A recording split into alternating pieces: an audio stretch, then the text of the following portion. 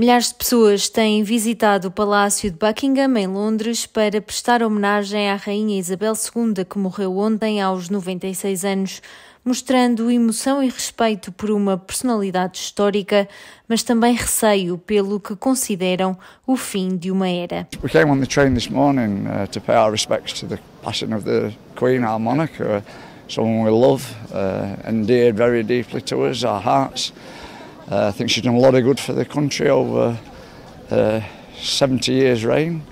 Uh, she's been a rock through turbulent times as well as good times, and uh, we were just very, very sad last night. I shed a tear, my wife was crying. No matter whether you're a royalist or whether you believe in the family, I think they served a constant in everyone's lives, constant in my life.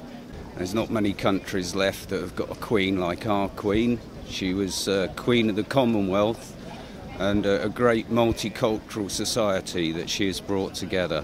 Desde o anúncio da morte que as pessoas têm convergido para a residência oficial da rainha em Londres, mas além de um edital, ainda nada se passa em Buckingham, uma vez que Isabel II morreu em Balmoral, a sua residência na Escócia, onde também se encontram algumas pessoas. O seu filho primogênito, Carlos, falará pela primeira vez ao país como monarca às 18 horas desta sexta-feira, depois de ser proclamado soberano pelo Conselho de Ascensão, seguindo os trâmites do protocolo ativado na sequência da morte da rainha. Na manhã de sábado será oficialmente proclamado rei aos 73 anos. Pela primeira vez desde 1952, será ouvido no Palácio de St. James Deus salve o Rei e não a rainha. Em reconhecimento a Carlos III, as bandeiras serão hasteadas a plena haste desde este momento até uma hora após as proclamações na Escócia, Irlanda do Norte e País de Gales. Nessa altura voltarão a meia haste em luto pela morte de Isabel II.